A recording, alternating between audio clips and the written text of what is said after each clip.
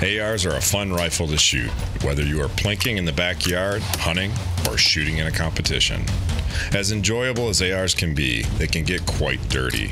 Proper maintenance is important to avoid malfunctions. A quick breakdown reveals the key mechanisms of your AR, which are critical to maintain. One of which is the star chamber area, where carbon fouling will build up in the locking lugs. This is a rather difficult area to get in and scrape. Take the awkwardness and difficulty out of cleaning this area with a Star Chamber cleaning tool.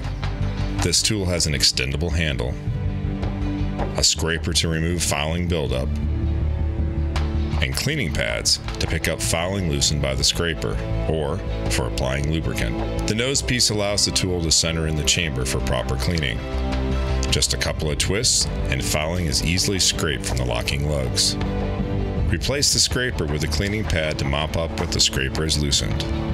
Attach the chamber brush if you'd like, or use the Star Chamber tool as a handle for other components with the 832 threaded end. The Star Chamber tool by Otis is available for AR 15 and AR 10 platforms. Otis Technology, Smart Gun Care.